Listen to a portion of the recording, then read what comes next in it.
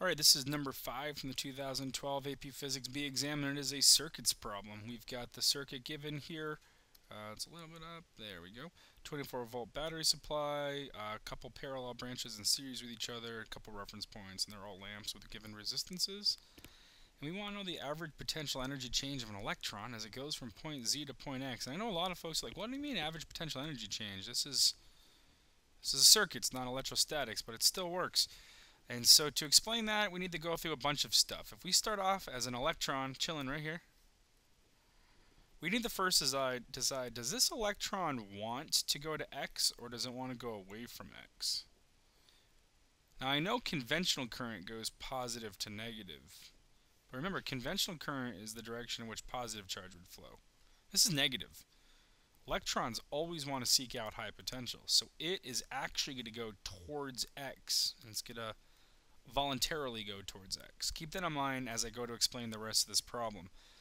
Or I guess another way of thinking about it is electrons have high potential energy when they're near low potential. And they have low potential energy when they're near high potential. And X is definitely higher potential. Let's first look at our equation. Electric potential is work over charge. And I like to kind of ignore negative symbols for now and think it through after in terms of that logic I just gave. So for now, I'm going to first figure out work because that is the potential energy. And that's going to be the voltage change. So the vo voltage change from Z to X, you can write delta V if you want, times the charge of the electron. And if we're going from the lowest terminal to the highest terminal, we're experiencing 24 volt change. 24 times the charge of one electron, which is one elementary charge, 1.6 times 10 to the negative 19 coulombs. You're going to get a numerical value, a magnitude, I'll say, no, no sign is given yet, of 3.8 times 10 to the 18 joules. Ooh, not negative 18, just 10 to the positive, or no, it is negative 18 joules. This is the energy, the energy change. And I guess my question is, is the potential energy increasing or decreasing? We already said it. It's decreasing. It's going closer to where it wants to go. So it's losing potential energy. That means the average potential energy change is got to be negative. It's going to lose that energy. And that is my answer. I basically just answered number two as well. Do the electrons gain or lose potential energy? Well, they're losing potential energy. Already explained, I'm not going to explain it again. B. What is the equivalent resistance of the circuit? To determine equivalent resistance, you resolve parallel branches first, and then within parallel branches, you need to resolve series circuit, series branches.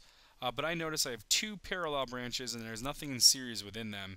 So what I want to do is find the equivalent resistance for this branch, the equivalent resistance for this branch, and then I'll realize I have two that are in series, and then I'll find my overall equivalent. So I'm going to call this, um, I don't know, we'll call this parallel branch 1, or maybe just R1. So 1 over R1 must equal 1 over RA plus 1 over RB. They're parallel, so we got to do the fraction stuff. So it's 1 over 6 plus 1 over 3 which is 3 sixths. But that's, of course, 1 over r. We need to invert that. So my first branch is going to be 2 ohms. So I could replace those with a 2 ohm resistor and it would get the same, same job. The second branch, R2, will be 1 over 12 ohms plus 1 over 24 ohms, which is 3 over 24 ohms, which means R2, the inverse of that, is going to be 8 ohms. Again, that would mean I can replace this entire branch with one resistor of 8 ohms. Now these two branches are in series with each other to show that my overall REQ is going to be R1 plus R2, which is simply 2 ohms plus 8 ohms, or 10 ohms. We have an equivalent resistance of 10 ohms. C. Calculate the magnitude of the current through point Y. So how much current is right here? I'm going to erase everything, but I do want to keep the numbers in mind, meaning my parallel branch 1 is 2 ohms, my second parallel branch is 8 ohms, My equivalent R is 10 ohms. It's going to come into play in a minute. So how much current is going through Y? Well, to know the current through this spot here, I need to know both the V and the R at that spot. Well, I only know the R. I don't know the voltage. But I do know my total voltage, and I do know my total resistance. So what I want to say, if V equals IR, I total must be V total over R equivalent. Or 24 volts divided by 10 ohms. I know I have a total current of 2.4 amps. That means 2.4 amps have to enter this junction.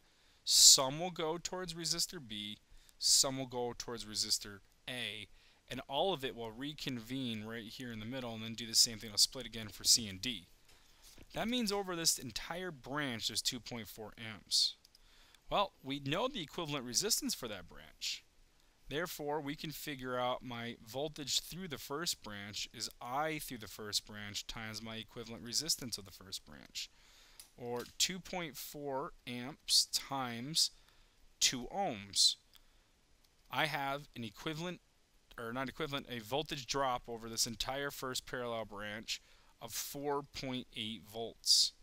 Now, if I recall, the voltage drop over parallel branch, so VA and VB, must be equal to each other as well as the overall drop over the entire branch. Therefore, V1 is this, but so isn't VA and VB. Now I know the voltage and the resistance at B. Therefore, my current through branch B, which is going to be my answer for C1, must be my voltage through branch B divided by my resistance of B. Therefore, it's 4.8 volts divided that by 3 ohms. And that is what, 1.6, I believe, if I'm doing my mental math correctly. Let me just confirm. Yes, 1.6 amps. And that is my answer. I could figure out my current through A as well as long as I take the 2.4 and subtract it. So there's 0.8 amps going through resistor A. C2, indicating on the diagram the direction of the current through point Y. Well, I already kind of did this. It's going to be uh, to the right because remember current flows, conventional current goes positive to negative. And this was here to kind of test to make sure you didn't mix that up because that whole electron stuff up top here. Current is positive and negative, so it has to flow like so all the way around the circuit. D. Calculate the energy dissipated in the 12 ohm bulb in 5 seconds. Well, there's a ton of equations for energy. Remember, energy is work, which is power times time, and power is IV, which is also I squared R, which is also V squared over R. Any of these work, as long as I then multiply them by time, I'll know my energy. I know my R, so I'm going to use one of these two. I can go through a long process to find my current, or I can go through the easy process to finding voltage, and that's what I'm going to do. I know there's 4.8 volts that drop over the top branch. I know I have 24 volts total. That must mean over both VC and VD, so VC will equal VD, it's going to be 24 minus 4.8, which is what, 19.2 2 volts. That means that there's 19.2 voltage drop over branch C. So I can use this last version to find that my work is going to be V squared over R times time, or 19.2 squared, that entire quantity divided by 12, and all of that times the time of 5 seconds and you will get an overall energy in joules of 154 joules.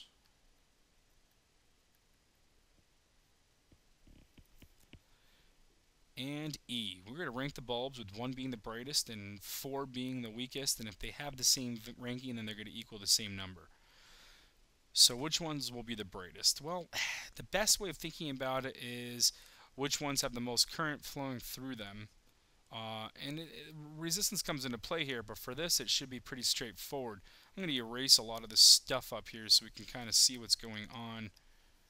Um, we've got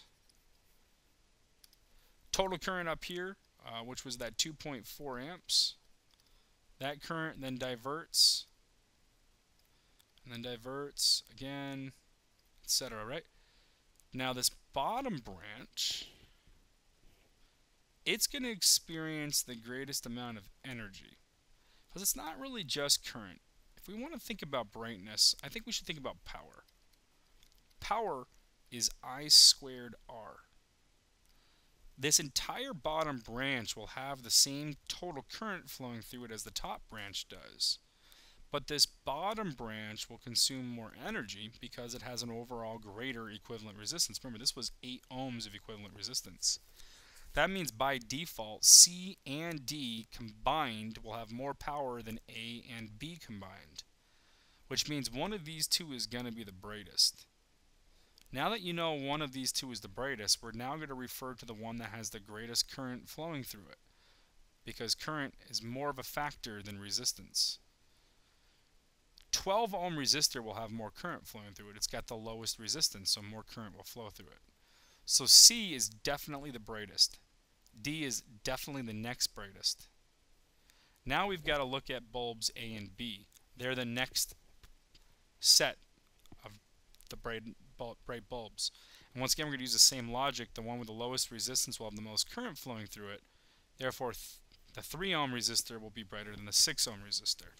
So bulb B is the third brightest, and then finally bulb A being the most dim. All right, that's it for your circuits question number five, the 2002 exam. Thank